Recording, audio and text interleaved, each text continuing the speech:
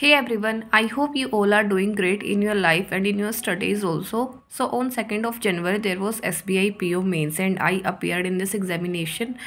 So now I am gonna give you a self-given exam analysis and sorry I am late. I am 2 days late actually. So that is okay I think. And before starting the video I would like to inform you that right now for 2022 guidelines is providing 70% discount on all its products and this is a combo offer okay? So you can go for this and get 70% discount plus you will get extra 12% discount by using my code. And you can use my code on affairs cloud also and get 10% extra discount for current affairs. As you all know that current affairs for current affairs affairs cloud is best as they provide the detailed current affairs which are asked right now in the mains examinations. So now i'm gonna start the video. So first of all i will discuss about the sections which appeared first. So first there was reasoning then there was quant then there was GA and then there was English okay तो ये चार subject पहले reasoning आई थी। तो reasoning जो थी वो doable थी। इतनी ज़्यादा टफ रीजनिंग नहीं थी और क्रिटिकल की आई थिंक आठ से नौ क्वेश्चन सात से आठ question I think critical reasoning के थे, जैसा मेरे को याद है। तो रीजनिंग में मैंने जो अटैम्प्ट किए हैं, वो हैं नाइनटीन ठीक है? रीजनिंग में जो एक डाटा सफिशियंसी में एक क्वेश्चन था डायरेक्शन वाला वो क्वेश्चन बहुत ज़्यादा लेंदी था, लेकिन वो मैंने नहीं किया, उसके दो क्वेश्चन थे। लेकिन जिसने वो क्वेश्चन किया होगा, उसका बहुत ज़्यादा टाइम वेस्ट हुआ होगा, वो क्वेश्चन बहुत ज़्यादा लेंदी था तो वो स्किप करने के लिए ही था। बाकी सिलोक के क्वेश्चन थे, जो ऑप्शन से हमको कंक्लूज़न तक जाना होता है, वो वाले सिलोक के क्वेश्चन थे। उसके साथ फिर इनक्वेलिटी के भी दो तीन क्वेश्चन थे मतलब थोड़ा ट्रिकी इनक्वेलिटी था। ठीक है? उसके भी दो तीन क्वेश्चन थे और पजल्स थी, तीन आई थिंक तीन पजल्स थी। उसके साथ फिर क्रिटिकल रीजनिंग के क्वेश्चंस थे और मतलब ओवरऑल पेपर का लेवल रीजनिंग में मॉडरेट था, ज़्यादा टफ नहीं था। उसके बाद क्वांट्स सो क्वांट्स में भी पेपर इतना ज़्यादा टफ नहीं था मतलब मॉडरेट था। रीजनिंग और क्वांट दोनों मेरे को मॉडरेट लगी। लेकिन रीजनिंग जो थी वो हल्की सी लेंदी लगी क्योंकि मैंने क्रिटिकल रीजनिंग अटैम्प्ट की तो उसमें थोड़ा सा टाइम ज़्यादा लगा। उसके बाद क्वांट्स तो क्वांट्स में मेरे को टफ नहीं लगा पेपर लेकिन मेरी थोड़ी स्पीड कम होने की वजह से मेरे अटैम्प्ट ग्यारह हुए। बट हाँ बाद में जब पाँच मिनट बची थी तो मैंने एक क्वेश्चन ट्राई किया था डीआई वाला, वो जो एचआर वाली डीआई दे रखी थी। तो वो डीआई बन रही थी बट थोड़ा सा कैलकुलेशन स्पीड कम थी, इसलिए वो नहीं हो पाई। तो ग्यारह क्वेश्चन मैंने क्वांट में किए हैं, उसके बाद आती है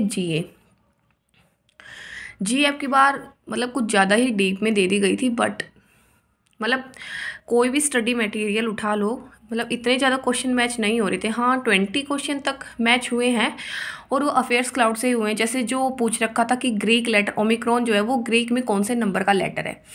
ये चीज़ मैंने अफेयर्स क्लाउड की डिटेल वाली पीडीएफ में पढ़ी थी। ठीक है, आपने भी पढ़ी होगी, अगर आपने डिटेल वाली पीडीएफ पढ़ी है तो। तो बाकी के जो क्वेश्चन थे, वो आई थिंक पंद्रह क्वेश्चन तो ऐसे थे जो कहीं से भी मैच हुए ही नहीं। जैसे कि पी एस यू पूछ रखा था, वो न्यूज़पेपर से वो क्वेश्चन था, ठीक है, और बाकी ट्वेंटी ट्वेंटी के भी कुछ क्वेश्चंस थे। बट मोस्टली जो क्वेश्चन थे, वो सितंबर से लेकर दिसंबर तक ही थे, ठीक है। तो जीए में मेरे अटैम्प्ट है ट्वेंटी टू। उसके बाद इंग्लिश तो इंग्लिश में शुरू में ही एक न्यू पैटर्न का क्वेश्चन था एरर वाला, और उसके बाद उस पैटर्न पे आई थिंक चार से पाँच क्वेश्चन उस पैटर्न पे थे। तो पहले तो मेरे को लगा कि एक ऐसा क्वेश्चन आ गया तो मैंने उसको स्किप करके सीधा मैंने आरसी किया और बाकी सब किया। फिर लास्ट में उस क्वेश्चन को देखा तो उसमें एक क्वेश्चन दे रखा था ऊपर। तो उस बोल्ड में जो एरर था, वही एरर हमको नीचे के दो सेंटेंस में बताना था, ठीक है? मतलब कहाँ पे है वो एरर उसमें बाकी भी एरर थे। लेकिन हमें एरर वही ढूंढना था जो तीनों में सेम हो। तो ये एक न्यू पैटर्न था इंग्लिश में। और बाकी अगर इंग्लिश के लेवल की बात करें तो मेरे को इंग्लिश मॉडरेट साइड पर लगी।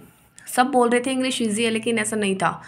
पता नहीं अब मेरे को ही लगी या सब कुछ ज़्यादा ही इजी आई थी, मेरे को टफ लगी, पर टफ नहीं थी बट हाँ थोड़ी मॉडरेट थी कंफ्यूजिंग थी थोड़ी इंग्लिश इतनी इजी नहीं थी जितना सब बोल रहे कि इंग्लिश बहुत ज़्यादा इजी आई थी, ऐसा कुछ नहीं था।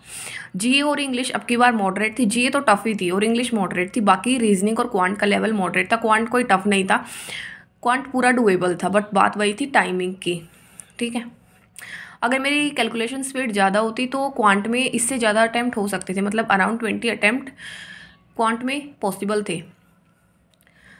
तो यही है, इतने मैंने क्वेश्चन किए हैं और हाँ डिस्क्रिप्ट इसमें इंग्लिश में मैंने थर्टी फोर क्वेश्चन किए हैं। एक मैंने एरर एक मैंने शायद आरसी वाला क्वेश्चन स्किप कर दिया था इसमें। आरसी वाला वो मेरे, मेरा टाइम ख़त्म हो गया था और वो आरसी वाला क्वेश्चन था कि मतलब उसमें से आरसी को कंसीडर करके तब उसमें बताना था कि इसमें से कौन सा फॉलो करता है। तो ये वाला क्वेश्चन मैंने स्किप कर दिया था, उसके बाद था डिस्क्रिप्टिव तो डिस्क्रिप्टिव में फ़र्स्ट जो टॉपिक था, वो था डिस्क्रिप्टिव में फ़र्स्ट जो टॉपिक था, वो था जेंडर बेस्ड जो हम काम करवाते हैं ना मतलब बच्चों को जेंडर बेस्ड जो काम देते हैं।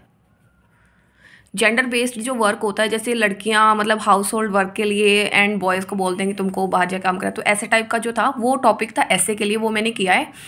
उसके बाद जो लेटर था, वो था, मैंने लेटर लिखा write a letter to editor editor वाला जो लेटर था ना, कि मतलब किसी प्लेयर की बहुत ही ज़्यादा हाई लेवल के जो प्लेयर थे, उनकी डेथ हुई है तो उनके सारे अच्छे अच्छे जो काम थे, उनको एक्सप्लेन करते हुए एडिटर को एक लेटर लिखना था, ताकि वो अपने कॉलम में उसको ऐड कर सके। ये वाला लेटर था। तो लेटर में कोई लिमिट नहीं थी तो लेटर में मैंने जो लिखा है, वो वन फिफ्टी में लिख दिया था।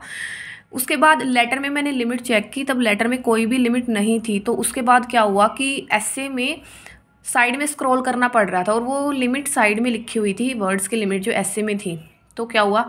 मैंने वो देखी ही नहीं। लेटर वाली लिमिट मैंने देख ली थी कि कोई भी लिमिट नहीं दे रखी तो लेटर मैंने वन वन फिफ्टी में लिख दिया। ऐसे में क्या हुआ कि लिमिट मैं मतलब मैंने देखी ही नहीं। मेरे को याद ही नहीं रही कि मैंने सोचा अगर ऐसे में सॉरी मैंने सोचा अगर लेटर में लिमिट नहीं है तो ऐसे में भी लिमिट नहीं होगी। तो मैंने ऐसे को वन टू फिफ्टी में लिख दिया। बट ऐसे की लिमिट टू हंड्रेड थी तो मेरे को लग रहा है इसमें थोड़े मार्क्स कट सकते हैं, क्योंकि टू फिफ्टी बहुत ज़्यादा ही हो गया। ये भी नहीं कि दस बीस लेटर ही ज़्यादा है, पचास लेटर ज़्यादा तो बहुत ज़्यादा हो जाता है। तो इसमें मेरे को हल्का सा डाउट है। बाकी ग्रामर ग्रामर मतलब ग्रामर मैंने सही लिखी थी। और ऐसे में क्या हो रहा था कि जैसे मैंने एक जगह जगह बीच में कुछ ऐड करना चाहा तो वो बिल्कुल लास्ट में जाके ऐड हो रहा था। बीच में ऐड हो ही नहीं रहा था। मैंने उस वर्ड को काट दिया था और उसमें बीच में दूसरा वर्ड मैं ऐड कर रही थी उसकी जगह। तो मैंने काट के जब ऐड किया तो वो वहाँ पे ऐड हुआ ही नहीं, वो सीधा लास्ट में लिखा जा रहा था। बीच में लेटर ऐड हो ही नहीं रहा था, पूरा ऐसे ख़त्म होने के बाद। तो एक एक वो मेरा एरर हो गया ऐसे में कि मतलब वो बीच में ऐड हुआ ही नहीं और वो जगह खाली रह गई। वो उसमें मैंने ये लिख रखा था कि दे थोट टू बी तो मैंने थोट को हटा के मैंने सोचा यूज्ड लिख दूँ।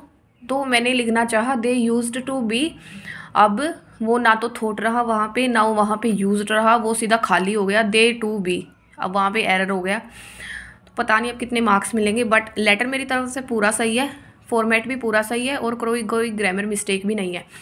बट ऐसे में थोड़ी सी गड़बड़ हो गई है, एक तो वर्ड की गड़बड़ है, उसके साथ ही एक उस वर्ड मतलब एक वर्ड लिमिट की गड़बड़ है, उसके साथ एक वर्ड की गड़बड़ जो वो थॉट और यूज्ड वाली है। वो पता नहीं कि वो क्या हो रहा था बट वो ऐड ही नहीं हो रहा था। तो यही है, इतने क्वेश्चन मैंने किए हैं टोटल मेरे क्वेश्चन है एट्टी सिक्स एट्टी सिक्स मैंने क्वेश्चन किए हैं तो बाकी अभी देखते हैं। हाँ रीजनिंग और क्वांट में मैंने मतलब रीजनिंग और क्वांट आने तक मैं पूरा सेटिस्फाइड थी कि हाँ सही है। जैसे ही चाहिए खुला, जैसे ही मैंने क्वेश्चन देखे, हे भगवान।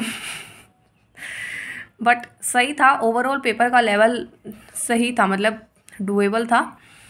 तो यही है, एट्टी सिक्स मेरे अटैम्प्ट रहे हैं बट बाकी मैंने बच्चों के अटैम्प्ट मतलब हंड्रेड हंड्रेड भी देखे हैं वन हंड्रेड टेन भी देखे हैं तो देखते हैं बाकी। जैसा भी होगा so that is all thank you and have a nice day